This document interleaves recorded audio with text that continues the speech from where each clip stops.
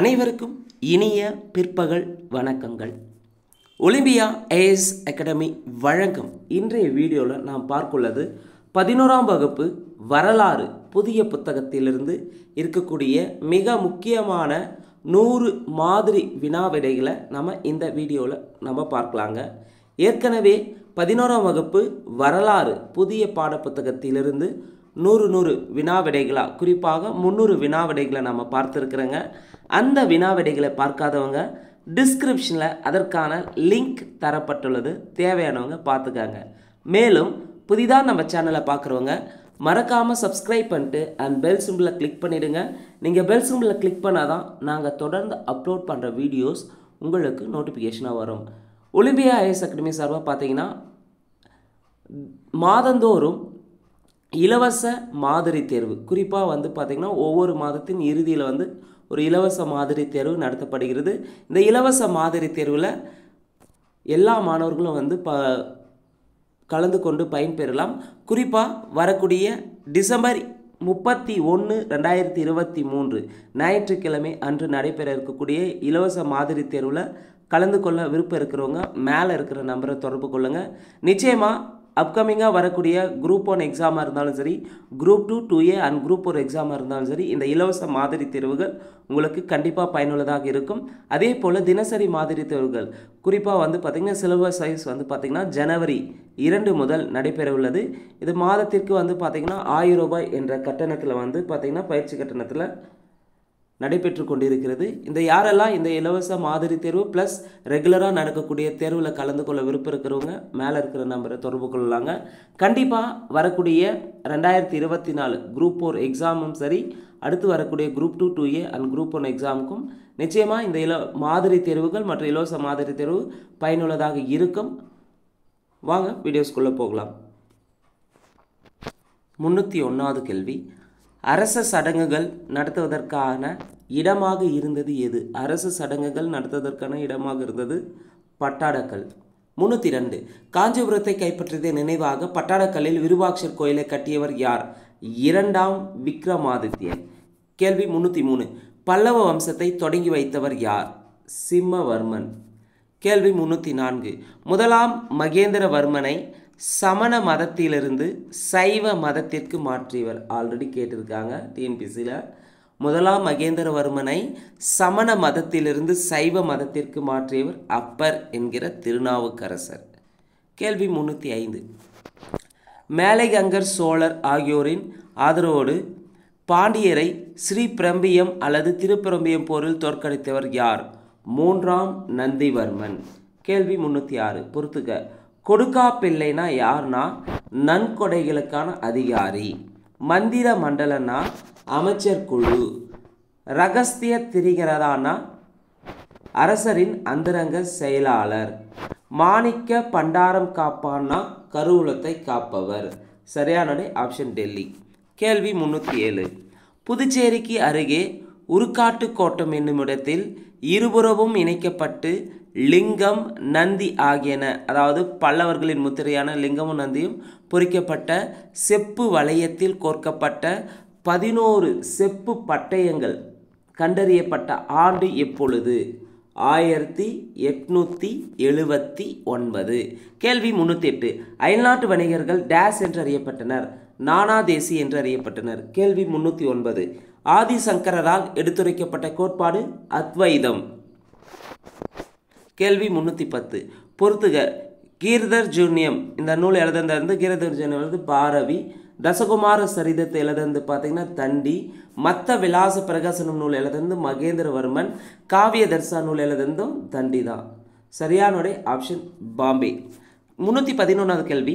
மண்டகப்பட்டு கல்வெட்டு யாருடைய காலத்தில் பொறிக்கப்பட்டது? மண்டகப்பட்டு கல்வெட்டு முதலாம் மகேந்திரவர்மன் காலத்தில் பொறிக்கப்பட்டது. கேள்வி முன்னூற்றி பன்னிரெண்டு. பல்லவர் பகுதிகளில் குடைவரை கோயில்களை அறிமுகம் செய்தவர் யார்? பல்லவர் பகுதிகளில் குடைவரை கோயில்களை அறிமுகம் செய்தது முதலாம் மகேந்திரவர்மன். கேள்வி முன்னூற்றி பதிமூணு. முதல் குகை கோயில் யாருக்காக உருவாக்கப்பட்டது? முதல் குகை கோவில் ஆசிவகர்களுக்காக உருவாக்கப்பட்டது. கேள்வி முன்னூற்றி பதினான்கு. எலோரா குகைகளை உலக பாரம்பரிய சின்னமாக யுனெஸ்கோ அறிவித்த ஆண்டு எல்லோரா குகைகளை உலக பாரம்பரிய சின்னமாக யுனெஸ்கோ அறிவித்த ஆண்டு ஆயிரத்தி தொள்ளாயிரத்தி எண்பத்தி மூணு. கேள்வி முந்நூற்றி பதினைந்து. பொறுத்துக. தியான முத்ரானா தியான புத்தரை குறிக்கும். விக் வியாக்கியான முத்ரானா போதனை செய்யும் புத்தரை குறிக்கும். பூமி ஸ்பர்ச முத்ரானா வலது கை ஆள்காட்டி விரலால் பூமியை தொடும் புத்தரை குறிக்கும். சரியான ஆப்ஷன் டெல்லி. கேள்வி முன்னூற்றி பதினாறு. மாமல்லபுரம் கடற்கரை கோயிலை கட்டியவர் யார்? மாமல்லபுரம் கடற்கரை கோயிலை கட்டியவர் இரண்டாம் நரசிம்மவர்மன் என்கிற ராஜசிம்மன். மாமல்லபுரம் கடற்கரை கோயிலை கட்டியவர் ராஜசிம்மன். மாமல்லபுரம் யுனெஸ்கோவின் உலக பாரம்பரிய சின்னமாக சேர்க்கப்பட்ட ஆண்டு ஆயிரத்தி தொள்ளாயிரத்தி எண்பத்தி நான்கு. எல்லோரா குகை கோயில் ஆயிரத்தி தொள்ளாயிரத்தி எண்பத்தி மூணில் மாமல்லபுரம் வந்து பார்த்திங்கன்னா யுனெஸ்கோ உலக பாரம்பரிய சின்னம் அறிவிக்கப்பட்டது ஆயிரத்தி தொள்ளாயிரத்தி எண்பத்தி நான்கு. பன்னிரு ஆழ்வார்களில் ஒருவர் ஒரு பெண் ஆழ்வார் யாருன்னு பார்த்தீங்கன்னா ஆண்டாள். பன்னிரு ஆழ்வார்கள் ஒருவர் ஆண்டாள். நாலாயிர திவ்ய பிரபத்தை தொகுத்தவர் யார்? நாலாயிர திவ்ய பிரபத்தை தொகுத்தவர் நாதமுனி. ஆல்ரெடி டிஎன்பிசியில் கேட்டிருக்காங்க. கண்ணனின் குழந்தை பருவமே டேஸ் பாடல்களின் கருவாக இருந்தது. கண்ணனின் குழந்தை பருவமே பெரியாழ்வாரின் பாடல்களின் கருவாக இருந்தது. கேள்வி முன்னூற்றி இருபத்தி ஒன்று ஆழ்வார்களில் தலைச்சிறந்தவர் யார்? நம்மாழ்வார். கேள்வி முன்னூற்றி இருபத்தி ரெண்டு விசிஷ்டாத் வைதம். கோட்பாட்டை முன்மொழிந்தவர் ஸ்ரீ ராமானுஜர் கேள்வி முன்னூற்றி இருபத்தி மூணு. இப்பன் பத்துத்தா ஒரு டேஸ் நாட்டு பயணி மொரக்கா நாட்டு பயணி. கேள்வி முன்னூற்றி இருபத்தி நாலு. பாலம் பவோலி கல்வெட்டு டேஸ் மொழியில் இருக்கிறது. பாலம் பவோலி கல்வெட்டு சமஸ்கிருத மொழியில் இருக்கிறது. முன்னூற்றி இருபத்தைந்தாவது கேள்வி. ஆதியில் கண்ணு என்று அறியப்பட்டவர் யார்? ஆதியில் கண்ணு என்று அறியப்பட்டவர் காணி ஜகான். கேள்வி முந்நூற்றி இருபத்தி ஆறு. பொறுத்துக. அடிமை வம்சத்தின் காலம் அடிமை வம்சனாவே ஆயிரத்தி இரநூத்தி ஆறுலேருந்து ஆயிரத்தி இரநூத்தி தொண்ணூறு. கில்ஜி வம்சம். கில்ஜி வம்சம் ஆயிரத்தி இரநூத்தி தொண்ணூறுலேருந்து ஆயிரத்தி முந்நூற்றி இருபது. துக்ளக் வம்சம் ஆயிரத்தி முந்நூற்றி இருபதுலேருந்து ஆயிரத்தி நானூற்றி பதினான்கு. சையது வம்சம் ஆயிரத்தி நானூற்றி பதினான்குலேருந்து ஆயிரத்தி நானூற்றி ஐம்பத்தி ஒன்று. லோடி வம்சம் ஆயிரத்தி ஐ நானூற்றி ஐம்பத்தி ஒன்று டு ஆயிரத்தி ஐநூற்றி இருபத்தி ஆறு. ரொம்ப ரொம்ப முக்கியமானது டெல்லி சுல்தான்கள் டாபிக் அடிமை வம்சம் கில்ஜி வம்சம் துக்ளக் வம்சம் சைது வம்சம் லோடி வம்சம். ஐந்து வம்சங்கள் டெல்லி சுல்தானை தான் ஆட்சி செஞ்சு டெல்லி ஆட்சி செஞ்சுருக்கும். சரியான ஆப்ஷன் பாம்பே. கேள்வி முன்னூற்றி இருபத்தி ஆறு. பாரசீக வரலாற்று ஆவணங்கள் டெல்லி சுல்தானின் குறித்து மிகைப்படுத்தி கூறுகின்றன. குறிப்பிட்ட சுல்தானின் ஆட்சியில் நிகழ்ந்த சம்பவங்கள் குறித்த அவற்றின் கருத்துக்கள் எந்த விமர்சனமின்றி நவீன கல்வி புலத்தினுள் சேர்க்கப்பட்டுள்ளன என்று குறிப்பிட்டவர் யார்? சுனில் குமார் கேள்வி முன்னூற்றி இருபத்தேழு பொறுத்துக. தாரிக் ஹல் இந்த் என்ற நூலை எழுதுனது யாருன்னா? தாரிக்கில் ஹல் இந்து நூல் எழுதுனது அல்பெரினி. தபகத்தி நசிரி நூல் எழுதுனது மின்கஜ் மின்ஹஜ் உஸ் சிராஜ். தாரிகி பெரோஷ் என்ற நூல் எழுதுனது ஜாவுத்தீன் பாரணி. மிப்தா உல் புதா என் நூல் எழுதுனது அமீர் குஸ்ரு. சரியானுடைய ஆப்ஷன் சி கேள்வி முன்னூற்றி இருபத்தெட்டு. இந்தியாவில் இஸ்லாமிய அரசை தெற்கு நோக்கி விரிவுபடுத்தும் நடவடிக்கைகளை தொடங்கி வைத்தவர் யார்? சபுக்திஜின் கேள்வி முன்னூற்றி இருபத்தி ஒன்பது யாமினி உத் தௌலா அதாவது பேரரசின் வலது கை என்ற பட்டத்தை பெற்றவர் யார்? கஜினி முகமது. கஜினி மாமுதுன்னு சொல்லலாம் முகமதுன்னு சொல்லலாம். கேள்வி முன்னூற்றி முப்பது கஜினி மாமுது குஜராத் கடற்கரையுள்ள கோயில் நகரமான சோமநாதபுரத்தின் மீது படையெடுத்து கொள்ளையடித்த ஆண்டு எப்பொழுது? ஆயிரத்தி இருபத்தி ஐந்து. கேள்வி முன்னூற்றி முப்பத்தி ஒன்று சோமநாதபுர படையெடுப்பு குறித்த தகவல்கள் பதிமூணாம் நூற்றாண்டிலிருந்து அரபு மரபு வழி பதிவுகளில் காணப்படுகின்றன. ஆனால் இதன் சமகால சமண மத சான்றுகள் இதனை உறுதிப்படுத்தவில்லை என்று கூறியவர் ரோமிலா தாப்பர். கேள்வி முன்னூற்றி முப்பத்தி ரெண்டு. பின்வரும் கூற்றுகளில் சரியானது எது? ஒன்று துக்ளக் நாமா என்பது பாரசீக மொழியில் துக்ளக் வம்ச வரலாறு ஆகும். சரி. சம்சி சிராஜ் அபிப் தாரிகி பெரோஷாகி என்ற நூலை எழுதினார். சரி. குலாம் யாக்யா குலாம் யாக்யா பின் அகமத் தாரிக் முபாரக் ஷாகி என்ற நூலை எழுதினார். குலாம் யாக்யா பின் அகமத் தாரிகி முபாரக் ஷாகி நூலை எழுதினார். சரி. முப்பத்தி ரெண்டு ஆண்டுகள் ஆட்சி புரிந்த கஜினி மாமுது பதினெட்டு ஆண்டுகள் இந்தியா மீது தாக்குதல்களை நடத்தினாரா? பதினெட்டு முறை கிடையாது பதினேழு முறை இந்தியா மீது தாக்குதல் நடத்தியிருப்பார். அப்போ நாலாவது தவறு. மற்ற மூன்றும் சரியாக இருக்குது கேள்வி முன்னூற்றி முப்பத்தி மூணு. கஜினி மாமுதுடன் இந்தியா வந்தவர் யார்? கஜினி மாமுதுடன் இந்தியா வந்தவர் அல்பெருனி. கேள்வி முந்நூற்றி முப்பத்தி நாலு. கஜினி வம்சத்தின் கடைசி அரசர் யார்? குரவ் ஷா கஜினி வம்சத்தின் கடைசி அரசர் குரவ் ஷா கேள்வி முன்னூற்றி முப்பத்தைந்து கூற்று ஒன்று கூற்று ரெண்டு. கூற்று ஒன்று முதலாம் தரையின் போர் ஆயிரத்தி நூற்றி தொண்ணூற்றி ஒன்றில் பிருத்திவிராஜ் சௌகான் முகமது கோரியை வென்றார். முதலாம் தரையின் போர் ஆயிரத்தி நூற்றி தொண்ணூற்றி ஒன்றில் நடந்திருக்கு இதில் பிருத்திவிராஜ் சௌகான் முகமது கோரியை வென்றிருப்பார். இரண்டாம் தரையின் போர் ஆயிரத்தி நூற்றி தொண்ணூற்றி ரெண்டில் முகமது கோரி வென்றார். ஸோ பிருத்திவிராஜ் சௌகானை இரண்டாம் தரையின் போரில் கொன்றிருப்பார் முகமது கோரி. ஸோ கூற்று ஒன்று ரெண்டு சரி. கேள்வி முன்னூற்றி முப்பத்தி ஆறு இந்தியாவுக்கும் பிற உலக நாடுகளுக்கும் இடையே ஒரு பாலமாக இருந்தவர் யார்? இந்தியாவுக்கும் பிற உலக நாடுகளுக்கும் இடையே ஒரு பாலமாக இருந்தவர் அல்பெரினி. கேள்வி முன்னூற்றி முப்பத்தி ஏழு பொறுத்துக தோமர்கள் தோமர்னாவே தில்லி ஆட்சி செஞ்சுருப்பாங்க. சௌகான்கள் ராஜஸ்தான் சோலங்கி குஜராத் பரமர் மால்வா கடவாலா கன்னோசி. சரியான ஆப்ஷன் பாம்பே. கேள்வி முந்நூற்றி முப்பத்தெட்டு உலக புகழ்பெற்ற கஜராக கோயிலை கட்டியவர்கள் யார்? உலக புகழ்பெற்ற கஜிராக கோயிலை கட்டியவர்கள் சந்தேலர்கள். கேள்வி முன்னூற்றி முப்பத்தி ஒம்பது பின்வரும் கூற்றுகளில் சரியானது எது? அடிமை வம்சத்தை நிறுவியவர் குத்புதீன் ஐபக். சரி.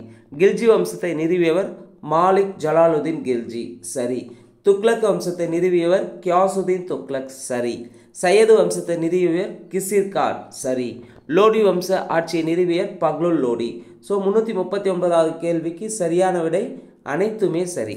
முந்நூற்றி நாற்பதாவது கேள்வி. பின்வரும் கூற்றுகளில் சரியானது எது? ஒன்று குதுப்பினாரை கட்டத் தொடங்கியவர் குத்புதீன் ஐபக். இல்துமிஸ் குதுப்பினாரை கட்டி முடித்தபோது எழுபத்தி ரெண்டு புள்ளி ஐந்து மீட்டர் அல்லது இரநூத்தி நாற்பத்தி மூணு அடி உயரமாக இருந்தது.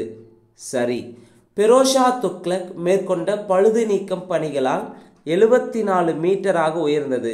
சரி. குதுப்பினார் முன்னூற்றி எழுபத்தி ஒன்பது படிகளை கொண்டது. முந்நூற்றி நாற்பதாவது கேள்விக்கு அனைத்துமே சரிங்க. முந்நூற்றி நாற்பத்தி ஒன்று குத்புதீன் ஐபக் டேஸ் எனும் விளையாட்டின் மீது விளையாட்டின் போது நிகழ்ந்த ஒரு விபத்தில் ஆயிரத்தி இரநூத்தி பத்தில் இருந்தார். சௌகான் எனும் விளையாட்டுன்னு சொல்லலாம் அல்லது குதிரை போலோ விளையாட்டுன்னு சொல்லலாம். சரியான ஏ மற்றும் சி. கேள்வி முன்னூற்றி நாற்பத்தி ரெண்டு குதிரை மீது ஆண்கள் சவாரி செய்வது போல் கையில் வில்லம்புடன் அரச பரிவாரங்கள் சூழ ரஷ்யா சுல்தானா சவாரி செய்தார் என்று குறிப்பிட்டவர் இபின் பதுத்தா கேள்வி முன்னூற்றி நாற்பத்தி மூணு சட்லஜுக்கு அப்பால் முன்னேறி வரமாட்டோம் என்ற வாக்குறுதியை மங்கோலியரிடமிருந்து பெற்றவர் யார்? பால்பன். கேள்வி முன்னூற்றி நாற்பத்தி நாலு தேவகிரி கோட்டையை கைப்பற்றுவதற்காக மாலிக் கபூர் தலைமையில் ஒரு பெரும்படையை அலாவுதீன் கில்ஜி அனுப்பிய ஆண்டு ஆயிரத்தி முந்நூற்றி ஏழு. கேள்வி முந்நூற்றி நாற்பத்தைந்து பொருந்தாதது எது? நாற்பதின்மர் குழுவை அமைத்தவர் இல்துமிஸ். நாற்பதின்மர் குழுவை ஒழித்தவர் பால்பன். ஒற்றர்களை பணியமர்த்தியர் அலாவுதீன் கில்ஜி. நயிபி முல்க் வந்து முகமது பின் துக்லக்கா கிடையாது. அப்போ தவறானது ஆப்ஷன் டி. முந்நூற்றி நாற்பத்தி ஆறாவது கேள்வி. படை வீரர்களுக்கு கொள்ளையில் பங்கு தராமல் பணமாக ஊதியம் வழங்கிய முதல் சுல்தான். படை வீரர்களுக்கு கொள்ளையில் அடித்த கொள்ளையில் பங்கு தராமல் பணமாக ஊதியம் வழங்கிய முதல் சுல்தான் அலாவுதீன் கில்ஜி. கேள்வி முன்னூற்றி நாற்பத்தி ஏழு முகமது பின் துக்லக் தனது தலைநகரை டெல்லியிலிருந்து டேஸ்க்கு மாற்றினார். முகமது பின் துக்லக் பார்த்தீங்கன்னா தன்னுடைய தலைநகரை டெல்லியிலிருந்து தேவகிரிக்கு மாற்றினார். கேள்வி முன்னூற்றி நாற்பத்தெட்டு இந்தியாவில் முதன்முறையாக இஸ்லாமியர் அல்லாத மீது ஜிசியா வரியை விதித்தவர் யார்? இந்தியாவில் முதன்முறையாக இஸ்லாமியர் அல்லாதவர் மீ அல்லாதவர் மீது ஜிசியா வரியை விதித்தவர் குத்புதீன் ஐபக். ஜிசியா வரியை நீக்கியந்து அக்பர். மீண்டும் ஜிசியா வரியை வந்து விதித்தவர் வந்து பார்த்தேன்னா அவுரங்கசீப் விதிச்சிருப்பார். ஃபஸ்ட்டு ஃபஸ்ட்டு இஸ்லாமியர் அல்லாத மீது ஜிசியா வரியை விதித்தவர்னா குத்புதீன் ஐபக். ஜிசியா வரியை நீக்கியவர் வந்து அக்பர். மீண்டும் ஜிசியா வரியை விதித்தவர் வந்து அவுரங்கசீப் கேள்வி முந்நூற்றி நாற்பத்தி ஒன்பது பொறுத்துக. ஆப்ரகாம் ஹெர்லின்றது த ஹேஜ் ஆஃப் ஹாத் என்ற நூலை எழுதியிருப்பார். சுனில்குமார் பார்த்தீங்கன்னா எமர்ஜென்ஸ் ஆஃப் டெல்லி சுல்தான் என்ற நூலை எழுதினிருப்பார் அல்பெரினி வந்து பார்த்தீங்கன்னா கிதாஃபுல் ஹிந்த் என்ற நூலை எழுதினார். யாகியா பின் அக்மத் சிரிந்தி யாகியா பின் அகமத் சிரிந்தி பார்த்தீங்கன்னா தாரிகி முபாரக் ஷாகி என்ற நூலை எழுதியிருப்பார். இப்போ சரியானுடைய ஆப்ஷன் ஏ. முந்நூற்றி ஐம்பதாவது கேள்வி. பதினான்காம் நூற்றாண்டில் உலகின் மாபெரும் நகரங்களாக விளங்கியவை. பதினான்காம் நூற்றாண்டில் பார்த்தீங்கன்னா உலகின் மாபெரும் நகரங்களாக விளங்கியவை டெல்லி மற்றும் பாட்னா. சரியானுடைய ஆப்ஷன் சி முந்நூற்றி ஐம்பத்தி ஒன்றாவது கேள்வி. ஒரு லட்சத்தி எண்பதாயிரம் அடிமைகள் வைத்திருந்ததா வைத்திருந்ததற்காக புகழ் பெற்றவர் யார்? ஒரு லட்சத்தி எண்பதனாயிரம் அடிமைகளை வைத்திருந்ததற்காக புகழ் பெற்றவர் பெரோஷா துக்லக் கேள்வி முன்னூற்றி ஐம்பத்தி ரெண்டு இந்திய இசை உலகிலுள்ள மற்ற அனைத்து இசைகளை விடவும் மேம்பட்டது என்று அறிவித்தவர் யார்? இந்திய இசை பார்த்தீங்கன்னா உலகிலுள்ள மற்ற அனைத்து இசைகளை விடவும் மேம்பட்டதுன்னு சொன்னது அமீர் குஸ்ரு. இந்திய கிளி என்று அழைக்கப்படக்கூடிய அமீர் குஸ்ரு தான் குறிப்பிட்டிருப்பார். கேள்வி முன்னூற்றி ஐம்பத்தி மூணு ஒன்பது வானங்கள் என்ற தம் நூலில் தம்மை ஒரு இந்தியன் என்று அழைத்து கொள்வதில் பெருமிதம் கொள்பவர் யார்? அமீர் குஸ்ரு. கேள்வி முன்னூற்றி ஐம்பத்தி நாலு பாரசீக உரைநடையின் ஆசான் என்று அழைக்கப்படுபவர் யார்? பாரசீக உரைநடையின் ஆசான் என்று அழைக்கப்படுபவர் ஜாவுத்தீன் பரணி. கேள்வி முன்னூற்றி ஐம்பத்தன் ஐந்து. காஷ்மீரின் அரசர்களின் வரலாறான ஜைன விலாஸ் நூலை இயற்றுவதற்கு டேஸ் ஷாநாமா எனும் பிர்தௌசி நூலை ஒரு முன்மாதிரியாக எடுத்துக்கொண்டார். பட்டவதாரா காஷ்மீரின் அரசர்களின் வரலாறான ஜைனவிலாஸ் நூலை ஏற்றுவதற்கு பட்டவதாரா பார்த்தீங்கன்னா ஷாநாமா எனும் பிர்தௌசி நூலை ஒரு முன்மாதிரியாக எடுத்துக்கொண்டுள்ளார் கேள்வி முந்நூற்றி ஐம்பத்தாறு. பொறுத்துக. ராமச்சந்திரர் ராமச்சந்திரர் வந்து மான்சிங். ஸ்கானி ஜகான் காகதியர். மாலிக் முகமது ஜெய்சி பத்மாவத். மண் மந்திர் தேவகிரி. சரியானபடி ஆப்ஷன் டெல்லி. கேள்வி முன்னூற்றி ஐம்பத்தி ஏழு டேஸ் கடல்வழி படையெடுப்புகள் ஸ்ரீ விஜய அரசு விரிவடைந்தது. அதாவது முதலாம் ராஜேந்தருடைய கடல்வழி படையெடுப்புகள் ஸ்ரீ விஜய அரசு வரை விரிவிட விரிவடைந்திருந்தன. முந்நூற்றி ஐம்பத்தெட்டு. பொறுத்துக. படை முகாம். படை முகாம்னா படை வீடுன்னு சொல்லலாம். புறக்காவல் படைகள்னா நிலைப்படைன்னு சொல்லலாம். தலைவர்னா படை முதலிக்கு தலைவர். படை தளபதினா தண்டநாயகம்னு குறிப்பிடலாம். தண்டநாயகம் படை தளபதி. சரியானுடைய ஆப்ஷன் ஏ. முந்நூற்றி ஐம்பத்தி ஒன்பதாவது கேள்வி. டேஸ் பாண்டியர்களின் முதல் தலைநகரமாகும். கொற்கை தான் பாண்டியர்களின் முதல் தலைநகரமாகும். கேள்வி முந்நூற்றி அறுபது. பொது ஆண்டு எட்நூறைச் சேர்ந்த மானூர் கல்வெட்டு டேஸ் நிர்வாகம் குறித்த செய்திகளை தருகிறது. திருநெல்வேலி இருக்கக்கூடிய மானூர் கல்வெட்டு கிராம நிர்வாகத்தை பற்றி பற்றிய செய்திகளை தருகிறது. கேள்வி முந்நூற்றி அறுபத்தி ஒன்று காயல் மற்றும் இந்தியாவின் பிற துறைமுகங்களில் ஏறத்தாழ பத்தாயிரம் குதிரைகள் இறக்குமதி செய்யப்பட்டன. அவற்றில் ஆயிரத்தி நானூறு குதிரைகள் ஜமாலுதீனுக்கு சொந்தமானவை. குதிரையின் சராசரி விலை இரநூத்தி இருபது செம்பொன் தினார்களாகும் என பாண்டியர் கால குதிரை வணிகம் குறித்து பதிவு செய்தவர் யார்? வாசப். கேள்வி முன்னூற்றி அறுபத்தி ரெண்டு அரிகேசரியை சமண மதத்திலிருந்து சைவ மதத்திற்கு மாற்றியவர் யார்? அரிகேசரியை பார்த்தீங்கன்னா சமண மதத்திலிருந்து சைவ மதத்திற்கு மாற்றியவர் திருஞான சம்பந்தர். கேள்வி முன்னூற்றி அறுபத்தி மூணு. நேர்மையான நிர்வாகத்துக்காகவும் வெளிநாட்டு வணிகர்களை சிறந்த முறையில் நடத்தியதற்காகவும் பாண்டிய அரசரை பாராட்டியவர் யார்? மார்க்கபோலோ. கேள்வி முன்னூற்றி அறுபத்தி நாலு. நூறாண்டுகளுக்கு பிறகு கங்கை கொண்ட சோழபுரத்திற்கு வந்த டேஸ் என்பவர் எங்கள் மக்கள் அதனை கண்டு வியப்படைவார்கள். ஆனால் அதனை அவர்களால் விவரிக்க இயலாது. அது போன்ற ஒன்றை அவர்களால் கட்டவும் முடியாது என்று குறிப்பிட்டுள்ளவர் அல்பெருனி கேள்வி முன்னூற்றி அறுபத்தைந்து. பிராமணர்களுக்கு வரிவிலக்குடன் அளிக்கப்பட்ட நிலம் பிரம்மதேயம். கேள்வி முன்னூற்றி அறுபத்தி ஆறு. டேஸ் ஒரு களத்துக்கு சமம். இருபத்தெட்டு கிலோகிராம் என்பது ஒரு களத்துக்கு சமம். கேள்வி முன்னூற்றி அறுபத்தி ஏழு முதலாம் ராஜராஜனும் முதலாம் ராஜேந்திரனும் இணைந்து டேஸ் ஆண்டுகள் சோழ அரசை ஆட்சி செய்தார்கள்.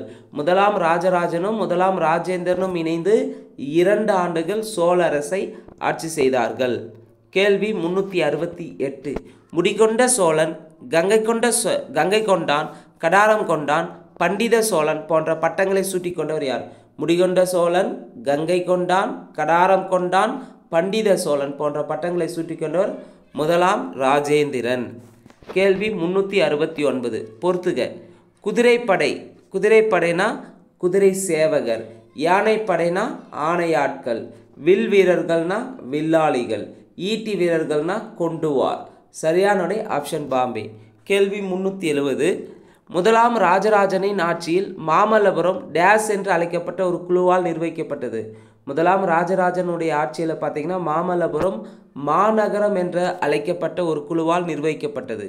கேள்வி முன்னூற்றி எழுபத்தி ஒன்று சுங்கம் தவிர்த்த சோழன் என அழைக்கப்படுபவர் யார்? முதலாம் குலோத்துங்க சோழன் ஆல்ரெடி டிஎன்பிசியில் கேட்டிருக்காங்க. சுங்கம் தவிர்த்த சோழன் என அழைக்கப்படுபவர் முதலாம் குலோத்துங்க சோழன். கேள்வி முன்னூற்றி எழுபத்தி ரெண்டு. கூற்று ஒன்று கூற்று ரெண்டு. கூற்று ஒன்று வடி என்பது நீர் வடக்கு தெற்காக ஓடுவதாகும். வடி என்பது வடிகாலாக நீரை வெளியேற்றுவது. கூற்று ஒன்று சரி. வாய்க்கால் என்றால் கிழக்கு மேற்காக ஓடுவதா வாய்க்கால்? வாய்க்கால் என்பது நீரை கொண்டு வருவதனை குறிக்கும். சரி. அப்போ மு முந்நூற்றி எழுபத்தி ரெண்டாவது கேள்விக்கு சரியானவடை கூற்று ஒன்று ரெண்டு சரி. கேள்வி முந்நூற்றி எழுபத்தி மூணு வளஞ்சியர் குழு வெட்டிய ஐநூற்றவ பேரேரி என்ற பாசனேரி டேஸில் உள்ளது.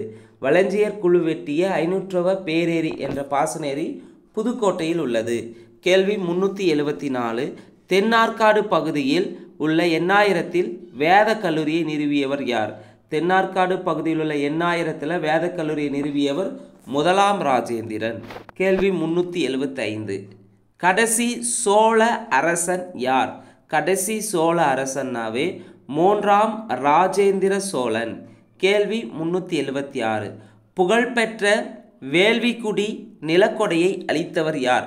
புகழ்பெற்ற வேள்விக்குடி நிலக்கொடையை அளித்தவர் ஜதில பராந்தக நெடுஞ்சடையன்.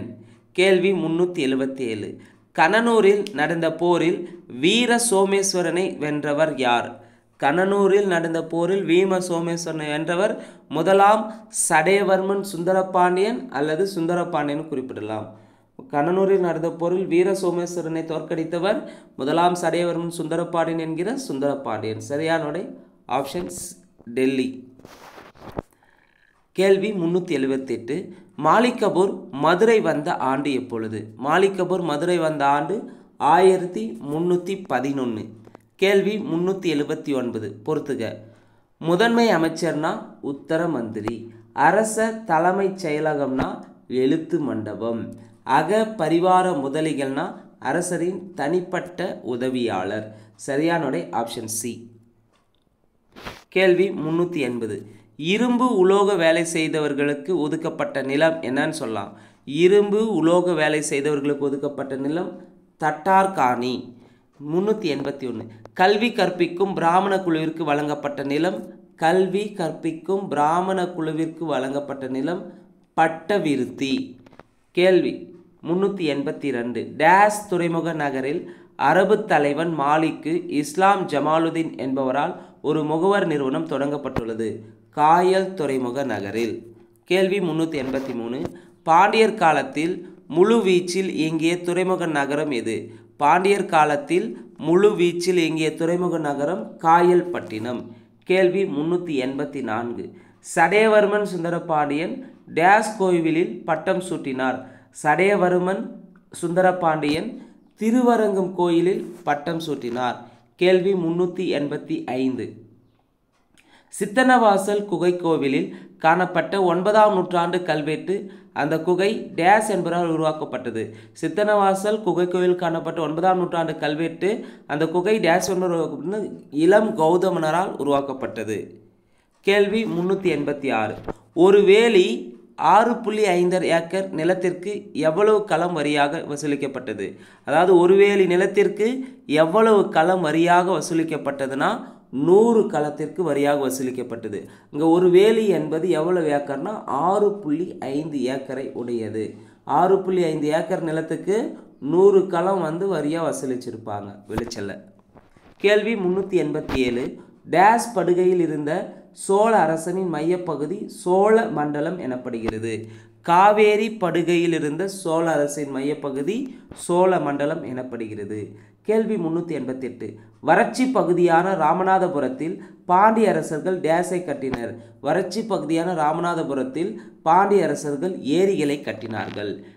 கேள்வி முன்னூற்றி எண்பத்தி ஒன்பது டேஸில் பெற்ற வெற்றியின் நினைவாக முதலாம் ராஜேந்திரன் கங்கை கொண்ட சோழபுரத்தை கட்டினார். வட இந்தியாவில் பெற்ற வெற்றியின் நினைவாக தான் முதலாம் ராஜேந்திரன் கங்கை கொண்ட சோழபுரத்தை கட்டியிருப்பார் கோயிலை. கேள்வி முன்னூற்றி தொண்ணூறு சோழர் காலத்தில் வரி வசூலை முறைப்படுத்தியவர் யார்? சோழர் காலத்தில் வரி வசூலை முறைப்படுத்தியவர் முதலாம் ராஜேந்திரன். கேள்வி முந்நூற்றி தொண்ணூற்றி ஒன்று கிளிம்சஸ் ஆஃப் வேர்ல்ட் ஹிஸ்ட்ரி என்ற நூலை எழுதியவர் யார்? ஜவஹர்லால் நேரு ஆல்ரெடி டிஎன்பிசியில் கேட்டு இருக்காங்க. கேள்வி முந்நூற்றி தொண்ணூற்றி ரெண்டு பொறுத்துக தேவகிரி யாதவர்கள் தேவகிரி ஆண்டவர்கள் யாதவர்கள்? துவார சமுத்திரம் ஒய்சாளர்கள். துவார சமுத்திரம் ஒய்சாளர்கள். வாரங்கள் காகதியர்கள். சரியானுடைய ஆப்ஷன் டெல்லி. கேள்வி முன்னூற்றி தொண்ணூற்றி மூணு ஜாபர்கான் என்பவர் பாமன் ஷா என்ற பட்டத்தை சூடி பாமனி அரசு வம்சத்தை நிறுவிய ஆண்டு. ஜாபர்கான் என்பவர் பாமன் ஷா என்ற பட்டத்தை சூடி பாமனி அரசு வம்சத்தை நிறுவிய ஆண்டு ஆயிரத்தி முந்நூற்றி நாற்பத்தி ஏழு. பாமனி வம்சம் தோற்றுவிக்கப்பட்ட ஆண்டு ஆயிரத்தி முந்நூற்றி நாற்பத்தி ஏழு. கேள்வி முந்நூற்றி தொண்ணூற்றி நாலு. ஆயிரத்தி முந்நூற்றி முப்பத்தி ஆறாம் ஆண்டு விஜயநகர அரசர் சங்கம வம்ச சகோதரர்களான ஹரியரர் புக்கர் ஆகியோரால் டேஸ் நதிக்கரையில் தோற்றுவித்தனர். துங்கபத்ரா நதிக்கரையில் தோற்றுவிக்கப்பட்டனர். ஆல்ரெடி டிஎன்பிசியில் கேட்டிருக்காங்க. முந்நூற்றி தொண்ணூற்றி ஐந்து. வராகன் என்ற குறிப்பிட்ட தங்க நாணயங்களை வெளியிட்டவர்கள் விஜயநகர அரசர்கள் இதுவும் கேட்டிருக்காங்க. முந்நூற்றி தொண்ணூற்றி ஆறு. பொறுத்துக்க இப்பன் பத்தத்தான மொரோக்கோ நாட்டு பயணி அப்துல் ரசாக் பாரசீக பயணி நிக்கிட்டின் ரஷ்ய பயணி நூனிஸ் போர்ச்சுகீசிய நாட்டு வணிகர். சரியான ஆப்ஷன் ஏ கேள்வி முன்னூற்றி தொண்ணூற்றி ஏழு. தன் நாணயங்களில் தன்னுடைய பெயரை இரண்டாம் அலெக்சாண்டர் என்று பொறித்து கொண்டவர் யார்? தன் நாணயங்களில் தன்னுடைய பெயரை இரண்டாம் அலெக்சாண்டர் என்று பொறித்து கொண்டவர் பாமன் ஷா. கேள்வி முன்னூற்றி தொண்ணூற்றி எட்டு. ஆகாய நீல வண்ணத்திலுள்ள இரத்தின கற்கள் ஓரளவு விலை மதிப்புள்ள கற்களாகும். இம்மாணிக்க கற்களினால் இழைக்கப்பட்ட அரியணை பாரசீக அரசர்களின் ஒரு சிம்மாசனமாக இருந்தது என்று குறிப்பிடும் நூல் ஷானாமா. பிர்தோஷியனுடைய ஷாமான ஷானாமா நூல் தான் குறிப்பிடுகிறது. கேள்வி முன்னூற்றி தொண்ணூற்றி ஒன்பது. பொறுத்துக. வக்கீல் உஸ் சுல்தானா. வக்கீல் உஸ் சுல்தானானா படைத்தலைவரை குறிக்கும். அமீரி ஜூம்லானா நிதியமைச்சரை குறிக்கும். அமீரி ஜூம்லா நிதியமைச்சர். வசிரி அஸ்ரப் வெளியுறவு அமைச்சர். நசீர் நிதித்துறை இணையமைச்சர். கொத்தவால்னா காவல்துறை தலைவர். வசி வக்கீல் உஸ் சுல்தானா படைத்தலைவர். அமீரி ஜூம்லானா நிதியமைச்சர். வசிரி அஸ்ரப்னா வெளியுறவு அமைச்சர். நசீர் அப்படின்னா நிதித்துறை இணையமைச்சர். கொத்தவால்னா காவல்துறை தலைவர். சரியானுடைய ஆப்ஷன் சி நானூறாவது கேள்வி. முகமது கவான் ஒரு மதராசை நிறுவி அதில் மூணாயிரம் கையெழுத்து நூல்களை வைத்திருந்த இடம் எது? முகமது கவான் ஒரு மதராசை நிறுவி அதில் மூணாயிரம் கையெழுத்து நூல்களை வைத்திருந்த இடம் எது? சரியான ஆப்ஷன்ஸ் பாம்பே. பீடார். பீடார் என்ற இடத்துல தான் வச்சுருக்காங்க. இந்த வீடியோவில் நம்ம மிக முக்கியமான நூறு மாதிரி வினாடுகளை பார்த்துருக்கோம். குறிப்பாக வந்து டெல்லி சுல்தானியம் சோழர்கள் அடுத்து விஜயநகரத்தை பற்றி பார்த்துருக்குறேங்க. இந்த வீடியோ உங்களுக்கு பிடிச்சிருந்தா லைக் பண்ணுங்கள் கமெண்ட் பண்ணுங்கள் மறக்காமல் டிஎன்பிசி எக்ஸாமுக்கு ப்ரிப்பேர் பண்ணுற உங்கள் ஃப்ரெண்ட்ஸ்க்கு ஷேர் பண்ணுங்கள் நன்றி வணக்கம்.